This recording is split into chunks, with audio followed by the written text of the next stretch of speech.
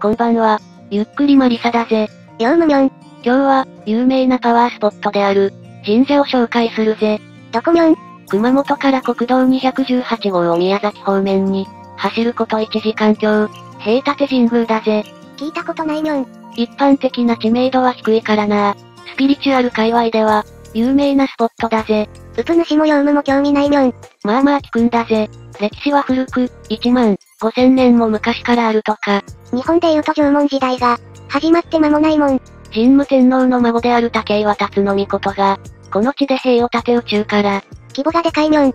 降臨された神々を祀ったことが始まり、急にシュメール人は宇宙人みたいな話。と伝わっているぜ。そして人々はここから世界に散らばった、という伝説だぜ。俺たちの戦いはこれからだってパターンの、打ち切りみたいな急展開。その証として毎年8月23日に、五色人祭が行われるぜ。何みょんか？かつて世界人類の祖先、赤白黄黒青色の人々が集い、何レンジャーみょんか？御霊を和合するための儀式を行った、という伝承に基づく神事だぜ。5年に一度は大祭が行われるぜ。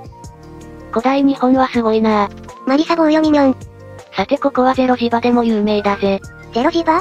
ゼロ磁場とは N 極と S 極のエネルギーが、待ってお互いのエネルギーを、打ち消し合ってる場所だぜ。マリサ、相手うさんくさい話選んでないかみょん。ゼロ磁場の場所に行くとなぜか、身体の不調が改善されます。米印効果には個人差があります。なんか気持ちいいと感じるだけでなく、それは山間部で空気が綺麗なんじゃ。体が軽くなったり痛みが和らいだり。そんなこんなで解説はここまでだぜ。まだ動画は2分ぐらい残ってるみょん。